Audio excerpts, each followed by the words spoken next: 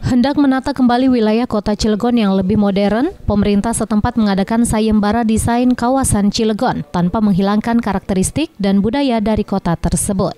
Wali Kota Cilegon, Haldi Agustian mengatakan, tujuan diadakannya sayembara ini agar masyarakat yang melintasi kota Cilegon menuju Pulau Sumatera atau sebaliknya bisa menyambangi sejenak untuk menikmati keindahan kota Cilegon.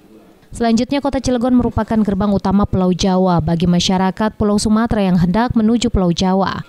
Oleh karena itu, pemerintah setempat akan menata kembali kota Cilegon agar bisa menjadi daya tarik bagi masyarakat luar. orang-orang dari Sumatera yang baru pertama kali nginjak ke Jawa, gambarannya adalah kota Cilegon. Nah, oleh karena itu kita bikin ya di tahun ini adalah sayembara kawasan kota Cilegon. Karena kita tahu bahwa kota Cilegon ini kan kota yang banyak dengan industrinya.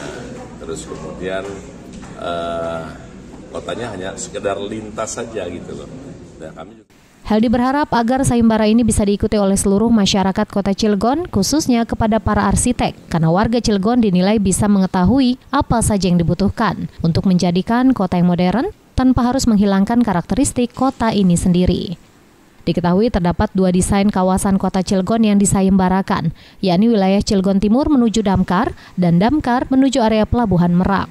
Sementara itu desain ini harus meliputi pendestrian, penerangan jalan umum, koridor, vegetasi, dan saluran air. Aliandra Ibrahim, jurnalis Banten TV dari Cilegon, memberitakan.